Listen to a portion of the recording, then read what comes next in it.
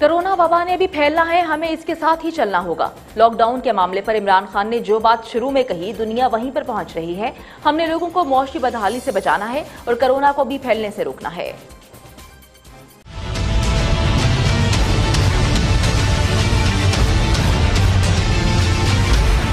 ये कहना कि छह हफ़्ते के लिए सब बंद कर देते तो वबाई खत्म हो जाती। तो कोई तो वजह है कि आज एक सौ बयासी ममालिक के अंदर ये वबा फैली हुई है। अगर ये मामला इतना ही आसान होता और ये इतनी वाज चीज़ थी और ये सिर्फ़ तहरीक इंसाफ की हुकूमत की गलत पॉलिसी थी कि जिसकी वजह से यहाँ फैला तो अमेरिका में, स्पेन में, इटली में, जर्मनी में, यूके में, फ्रांस में, भारत में, ईरान में, कहीं तो ये तजुर्बा हो जाता ना। ये नहीं मुमकिन है। इस वबा ने फैलना है, हाईली इन्फेक्शस डिज़ीज़ है, तमाम दुनिया आहिस्ता आहिस्ता आहिस्ता वहीं पहुँच रही है, जहाँ पर यह सफ़र शुरू होने के वक्त वज़ीर आज़म पाकिस्तान इमरान खान की पॉलिसी डिसीज़न था। उन्होंने जब शुरू में यह बात की तो बहुत सख्त तनकीद की गई उनकी।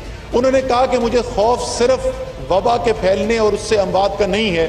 मुझे इस बात का भी खौफ है कि जो बंदिशें लगाई जाएँगी, उससे जो भूख में इजाफा होगा, जो अफलास बढ़ेगा, जो बेरोजगारी बढ़ेगी, जो माशी बदहाली आएगी, खास तौर पे पाकिस्तान के गरीब की और पाकिस्तान के सफ़ेद पोश मुतवसत तबके की। तो जो हम आपको पहले दिन से कह रहे हैं कि तोजुन की ज़रूरत है, आपने अपने लोगों को माशी बदहाली से भी बचाना है उनका रोज़गार छीनने से भी बचाना है। उनको जो तमाम मसाइल माशी बदहाली से आते हैं, उनसे भी उनको बचा कर रखना है।